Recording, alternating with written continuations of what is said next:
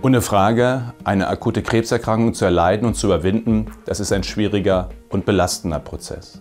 Das Leben nach Krebs ist nicht einfach wieder das Leben wie vor dem Krebs. Zwei von drei Patientinnen und Patienten haben nach einer überstandenen Krebserkrankung damit zu kämpfen. Das betrifft in Deutschland viele Millionen Menschen. Sie müssen sich mit den Spät- und Langzeitfolgen ihrer Erkrankung auseinandersetzen, körperlich und auch psychisch. Sie brauchen viel Kraft und Unterstützung, damit ihnen die Verbindung von Lebensfreude und dem verantwortungsvollen Umgang mit den Folgen der Krebserkrankung gelingt.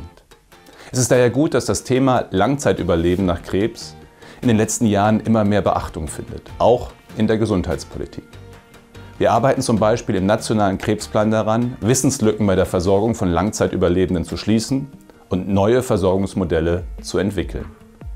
Spät- und Langzeitfolgen von Krebserkrankungen werden künftig auch besser in den Krebsregisterdaten erfasst und eingebettet werden.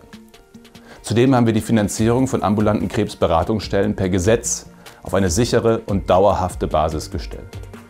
Sie stehen selbstverständlich auch Langzeitüberlebenden offen, unterstützen sie mit Rat und Tat. Vor allem hilft aber auch das Wissen, nicht allein zu sein. Es kann so viel Kraft geben, dass es anderen betroffenen Menschen ähnlich geht, dass man sich austauschen kann und jemand da ist, der einen versteht, der weiß, wie es einem geht. Man kann lernen, wie andere mit der Situation umgehen und daraus Mut schöpfen.